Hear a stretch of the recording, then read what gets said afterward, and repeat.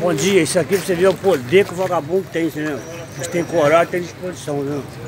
Esse é o poder de Angra do Rei, do caixa, do caixa eletrônico de Angra do Rei, ó.